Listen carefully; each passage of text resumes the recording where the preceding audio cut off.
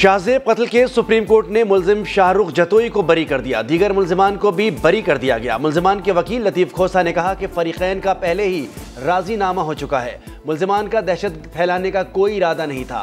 कत्ल के वाक़े को दहशत गर्दी का रंग दिया गया। 20 साल नौजवान शाहजेब को दिसंबर 2012 में कराची के इलाके डिफेंस में फायरिंग करके कत्ल कर दिया गया था। ट्रायल कोर्ट ने शाहरुख जतोई और नवाब सिराज तालपुर को सजाए मौत सुनाई थी।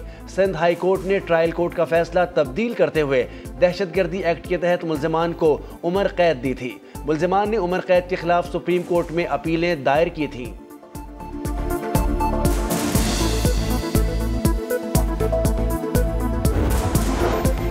बैरिस्टर फहद मलिक केस के तीनों मुलजमान को उम्र कैद की सजा सुना दी गई। मुलजमान में राजा अरशद, नोमान खोकर और राजा हाशिम शामिल हैं।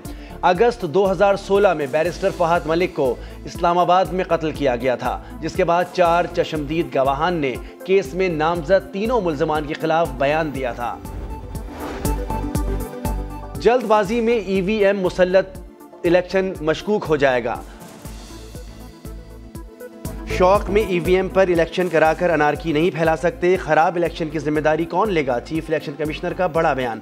पंजाब हुकूमत को सात रोज में बल्दियाती हुकूमत का कानून बनाने की हिदायत। कानून ना बनने पर सबका कानून पर बल्दियाती इंतबात कराने का इंदिया।